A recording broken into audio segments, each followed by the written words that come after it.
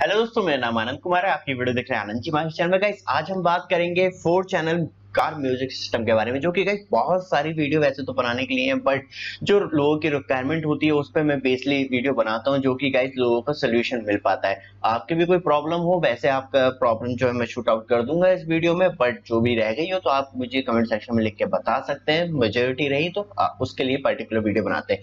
Guys आज का जो टॉपिक है, वो बहुत ज़्यादा सेंसिटिव है कार के मामले में। लोग शुरू में चाहते हैं यार, अच्छी साउंड मिले, सब कुछ मिले, और बड़ा स्पीकर लगा लेते बूफर गाइस इसका मैं बात करूँ तो गाइस 1800 वाट का स्पीकर है, वो बेस मज़ा आ जाता है कार में। तो गाइस उससे हमारी बैटरी भी डाउन होती है कहीं ना कहीं।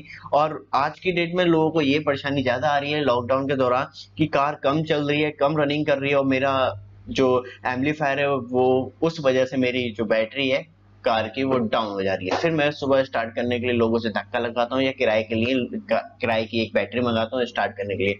तो गाइज़ इस वीडियो को आप पूरा देख लेंगे तो आपका परमानेंट सोल्यूशन मिल जाएगा। चलिए गाइज़ फिर शुरू करते हैं इस वीडियो को। नमस्ते दोस्तों, आप ये वीडियो देख रहे हैं आनंद जी भाषा चैनल पर चैनल को सब्सक्राइब कीजिए चैनल पर बने रहने के लिए। बेल आइकन में ऑल बटन दबाइए सारी लेटेस्ट वीडियो सबसे पहले देखने के लिए।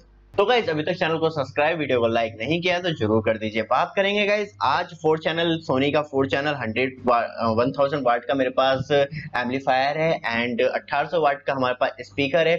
बट गाइज़ सबसे ज़्यादा रिक्वायरमेंट आती है this power has to be connect to your battery तो गाइज़ ये आप पावर पॉइंट है गाइज़ और आपको घर में यूज़ करना है तो एक सीक्रेट चीज़ और बता दो, क्योंकि ये जो होती है, ये 12 बोल्ट पे होता है, और आप डायरेक्टली कैसे यहाँ पे हमारे डबल कनेक्शन करना होता है। यहाँ पे वैसे तो मेनली फ्यूज लगाते हैं कि अनदर कोई फॉल्ट हो जाए तो यहाँ पे फ्यूज हो जाए बट नॉर्मली आप एक पार्टिकुलर क्योंकि बैटरी में प्रॉब्लम ये होती है, कभी भी तार मिल जाए तो एकदम हीटअप प्रोसेस बहुत ज़्यादा होता है उसका तो खराब होने के ज़्यादा खतरे रहते हैं। इसलिए यहाँ पे आपने देखा होगा बैटरी के ऊपर या कहीं भी साइड में एक फ्यूज लगा देते हैं, जो ब्लास्ट होने से पहले अंदर की चीज़ें बाहर फ्यूज उड़ जाता है। बट गाइस आप घर में नॉर्मली 12 वोल्ट का बात करूँ पावर एडेप्टर यूज़ करते हैं या कहीं से आप खरीद के भी ले आएगा मात्र सौ डेढ़ सौ रुपए का पड़ता है आपको ट्रांसफार्मर बारह वोल्ट का उसकी एक प्लेट भी ले आएगा तो आप इजिली ट्रांसफार्मर से डायरेक्टली इसलिए कह रहा हूँ नॉट टू यूज़ अडेप्टर क्योंकि वो एक पक्की फ्रिक्वेंसी देता है। मतलब यह है कि उसमें आप कम वोल्ट में यूज़ नहीं कर पाएँगे, जैसे कि तभी अपनी धमक पे आता है तो एक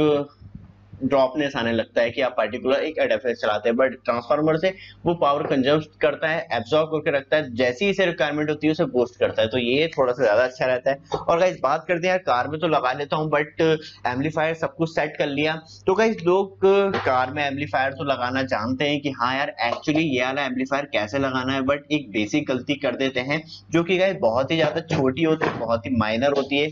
और उससे पहले गाइस ये बता दूँ, यहाँ पे आप किसी भी एक चार चैनल हैं, चार स्पीकर कनेक्ट कर सकते हैं बट किसी भी एक से आप ये कनेक्ट कर लेते हैं तो आपको ऑप्शन मिल जाता है। बट गाइज़ बहुत सारे लोगों की प्रॉब्लम ये आती है कि यार वो इससे गाने नहीं बजा पाते डायरेक्टली अपने हेडफोन से। तो गाइज़ ये बहुत कम आप डायरेक्टली म्यूज़िक सिस्टम से हाई साउंड में ले रहे हैं तो तो अच्छी वर्क करती है बट कभी कभी ये मोबाइल पे वर्क नहीं करती है गाइस ये जो पोर्ट होती है, ये वाली ये वाली जो पोर्ट होती है गाइस ये डायरेक्टली आपकी हाई साउंड से निकलेगी म्यूज़िक सिस्टम से जब हाई साउंड निकलती है तो उसका प्लग आता है एक छोटा सा तो वो इसमें लगाने के लिए आता है डायरेक्टली तो आपके पर्टिकुलर चारों स्पीकर इजिली वर्क करते हैं, जो कि गाइस ज़्यादा बात करूँ तो इसके कंपेरिजन में ये वाली पोर्ट ज़्यादा अच्छी है, क्योंकि आप म्यूज़िक सिस्टम जो पूरी तरीके से कंट्रोल कर सकते हैं।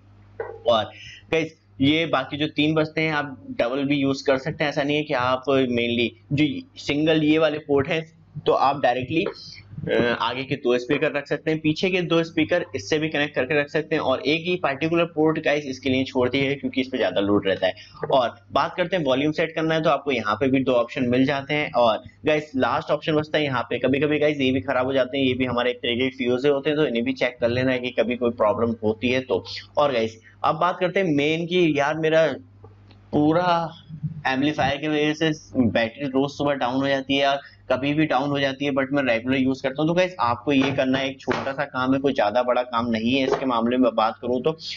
आपको आगे डैशबोर्ड के साइड एक पावर स्विच लगा लेना है, जैसे कि गाइस आप डायरेक्टली उसे ऑन ऑफ़ कर पाए अपने डैशबोर्ड से। जो गाइस आप, मैं इसे जो जो गाइस इसे मैं मेनली यूज़ कर रहा था, वो आई टेन में कर रहा था स्पोर्ट्स में, जो कि गाइस बहुत ही ज़्यादा अच्छी थी बट तब आई ट्वेंटी खरीदी तो उसमें टॉप वर्जन खरीदा तो स्पीकर क्वालिटी सही लगी।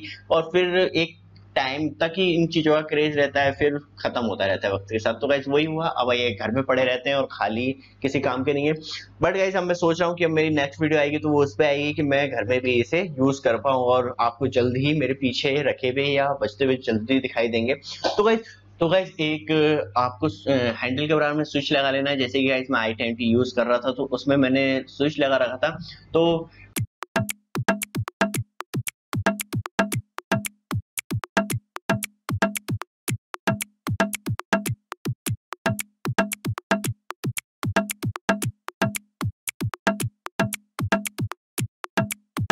बहुत सारे लोग गलती क्या कर देते हैं, एक बेसिक गलती कर देते हैं कि आप बैटरी के साइड डैशबोर्ड पे लगा लेते हैं या पीछे उसमें कवर में लगा लेते हैं, क्योंकि गाइज़ ये ज़्यादातर लोग पीछे ही रखते हैं और पीछे रखना ही सही रहता है कि एक साइड में रखा रहता है।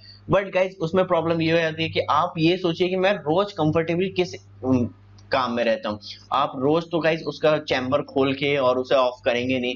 गैस डिग्गी में भी प्रॉब्लम हो जाती है। ऐसा नहीं कि मैं जाऊँगा। भूल जाते हैं गाइज़ बहुत टाइम लोग।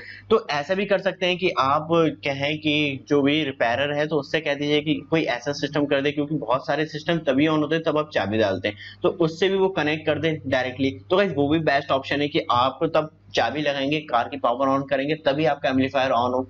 और गाइज़ सेकंड ऑप्शन क्योंकि बहुत सारे लोग ये भी करते हैं गाइज़ बैटरी कार बंद होती है और बैटरी पे सॉन्ग बजाते हैं। तो गाइज़ उस मामले में मैं हमेशा ये रिफर करूँगा आपको कि आप पर्टिकुलर एक स्विच लगा लें, जो कि गाइज़ आपके वहाँ पे हैंडल के बराबर में जगह होती है लगाने के लिए। तो गाइज़ कार के डिज़ाइन के ही आते हैं तो आपको लगेगा नहीं, किसी को लगेगा नहीं कि यहाँ एक्सटर्नल लगा रखें। तो इजिली वहाँ पे लगा सकते हैं। बट गाइज़ बहुत सारे में नहीं होती है तो कोई दिक्कत की बात नहीं है। एक नीचे डैशबोर्ड के साइड एक बाहर से परचेस करके आप लगा सकते हैं। स्विच तो आपको दोनों ही बाहर से परचेस करने पड़ेंगे। अंदर लगाएँ डैशबोर्ड के आउटर लगाएँ। तो भाई उसमें ये फ़ायदा रहता है, जब आपका मूड हो, तब आप ऑन कीजिए अनदर आप